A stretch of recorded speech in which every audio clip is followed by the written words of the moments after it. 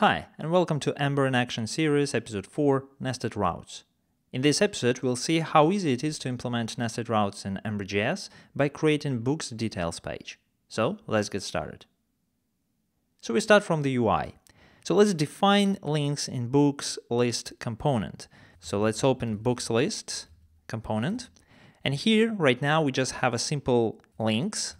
So we'll use link to helper which will point to books book route. So that's the way we specify nested route. And this route takes one argument, the book itself, because we want to display the details of particular book, right?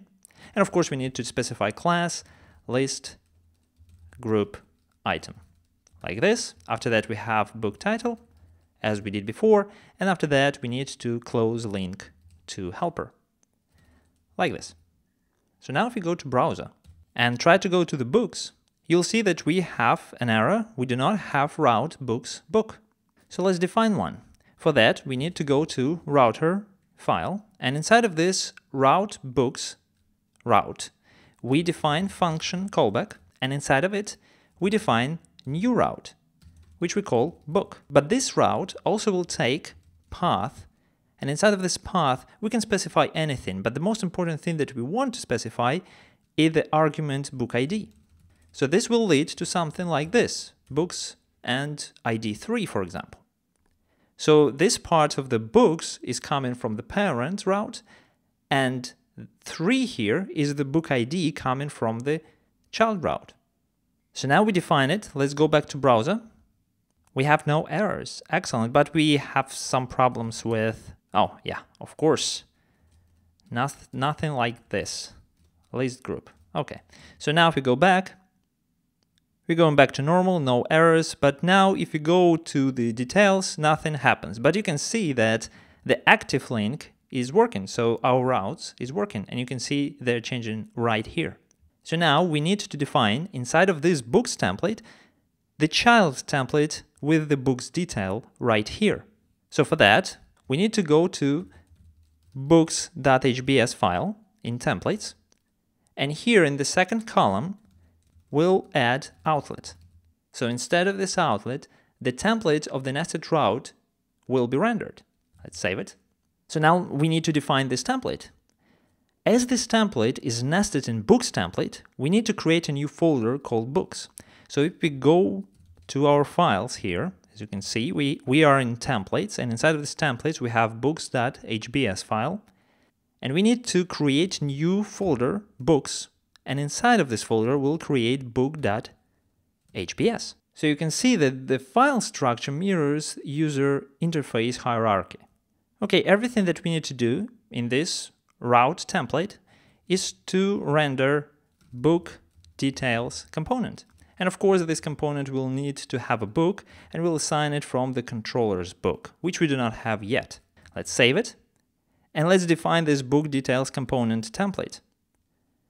Again, we go to templates. In components, we create book details.hbs.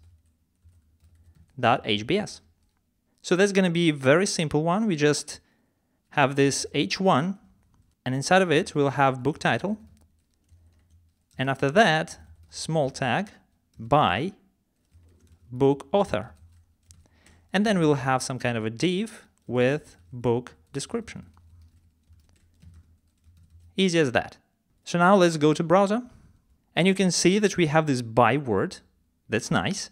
So template and its component is actually rendering, but we do not have any data. So we need to define book in this book controller, right? And we do it in the route.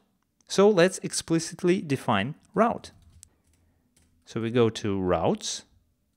And again, we have a nested route. And to define nested route, as we did with nested templates, we need to define it in the parent folder. In our case, that's going to be books and then book.js. So here is usual stuff. We import Ember from Ember. We export default Ember route extend. Standard stuff here.